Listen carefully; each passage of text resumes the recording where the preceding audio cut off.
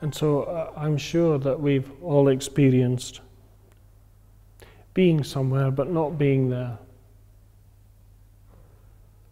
Like walking down the street and wondering how you managed to get from one end of the street to the other. You know, and, and how you managed to finish off that box of galaxy, whatever it is, you know, while, while you've been sitting. You've been totally unaware of the experience itself, you know. And so the first thing is is to become aware of like what is actually happening, you know. What's actually going on? How much of our time do we spend in unawareness, for instance? Your body's doing one thing while your mind's somewhere else, you know. You're making your shopping list as you're walking down the street.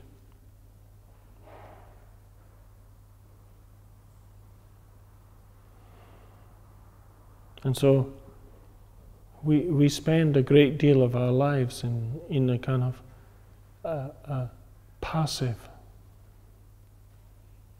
way. We allow our minds to go and, and uh, be caught by thoughts and memories and plans and what he said and what she said and what we are going to say and and our attention's been hijacked. We don't like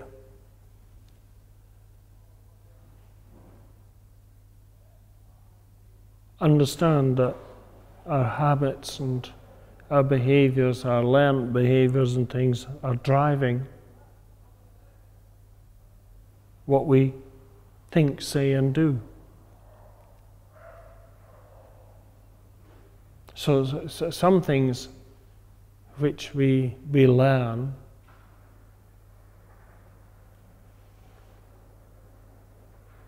are really helpful, you know, like driving your car or typing or whatever. But if you apply the same kind of uh, mentality to your emotional state or your feelings, then it can cause us a lot of problems.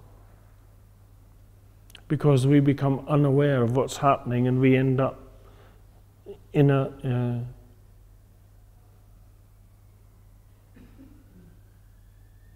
in a mental state, a mood, if you like, which we, we don't understand how we got there. We just arrived there, and then our behavior is influenced by all of this. So we, we need to develop an ability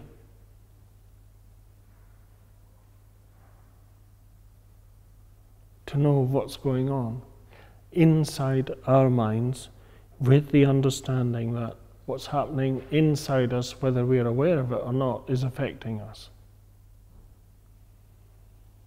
It's affecting of what we say to others. It's affecting like how our body is, how it behaves. Hmm?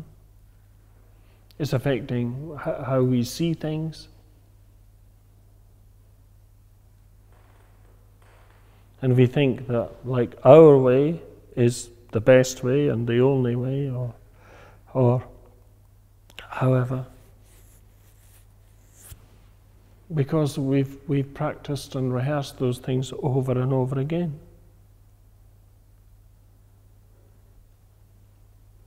And we've done this in order to to make ourselves happy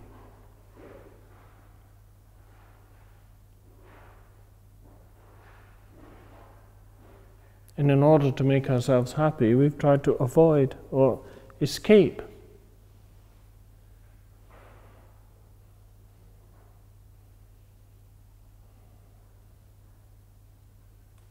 from all the life situations that we encounter. And we're, we're faced with choices the whole time. And so, what we're trying to do is develop an ability to create a space where we can make some kind of intelligent choice in relation to what's happening and what's going on around us and what's happening within us.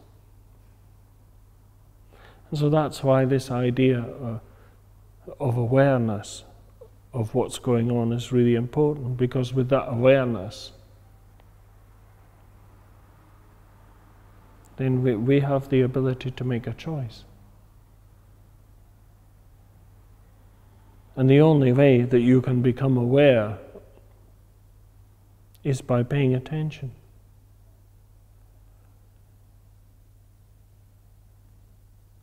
And rather than being ruled by like our emotions or thoughts or feelings, we can take a step back and actually make an intelligent, wise decision based on what we know or the advice that we've been given or whatever, rather than being carried away by this endless thinking. Your mind's bigger than your thinking. Your mind's bigger than your thoughts. Your mind's bigger than your emotions. Your mind's bigger than your feelings. You know?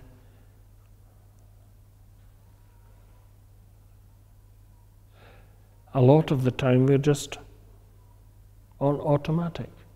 We don't really take part in our lives, you know. And we try to think our way out of things. And we spend a lot of time basing our decisions on what we think might happen or, or what's happened in the past.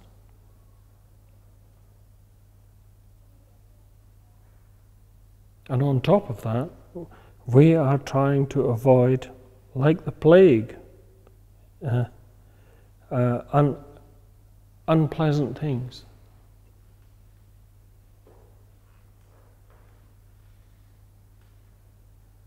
So when you were sitting,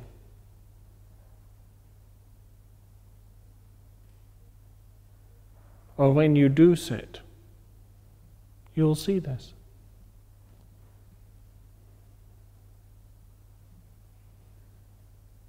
And we want things to be different from how they are. But that's difficult because we believe that what we think means something. And not only on top of that, we, we are like, because of our lack of understanding, criticizing ourselves all the time, you know.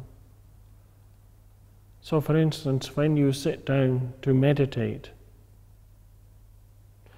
the practice is really simple. The practice is knowing or recognizing or become aware of when you're not paying attention to what you've chosen to pay attention to.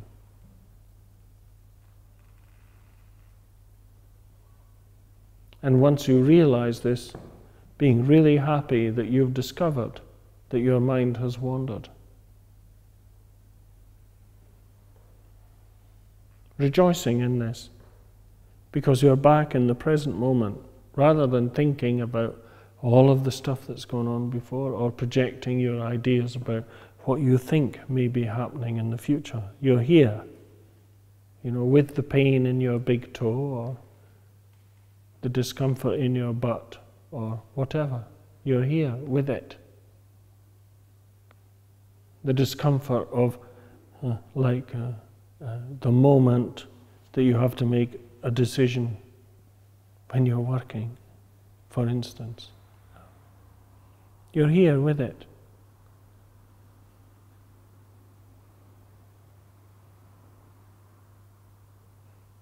And so the idea is that you, you actually learn to be with yourself while those things are happening. They're not some kind of movie from the past or some kind of idea of how you would like things to be.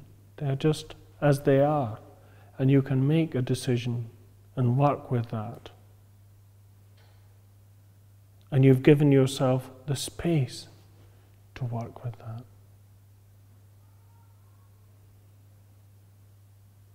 So that's what all this is about. It's not about becoming enlightened or whatever, it's simply about learning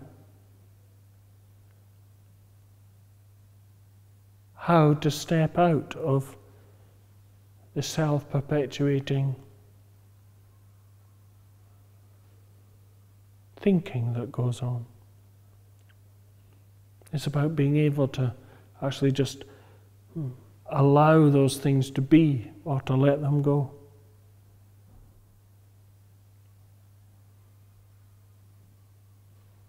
Because the minute you move into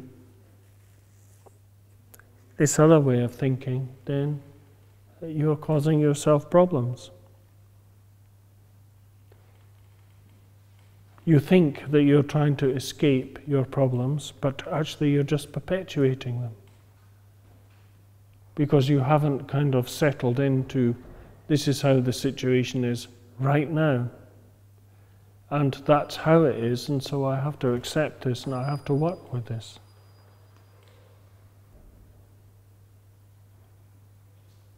And this is the, difficulty that we have. We're not trying to be like relaxed or, or achieve happiness or something like this.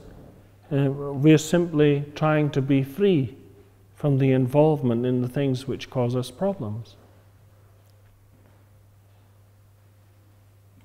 It doesn't mean to say that you won't become relaxed. You might.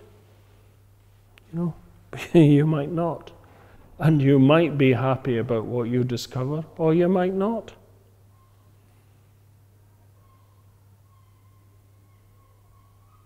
It's actually resting within this rather than trying to change those things. Huh? And then base or make decisions on the discoveries that you make personally, not some guru guy or some guru woman or something, but simply based on your own, if you like, uh, unimpeded intelligence which exists. You don't have to think your way out of things, your mind's quite capable of sorting all of those things out.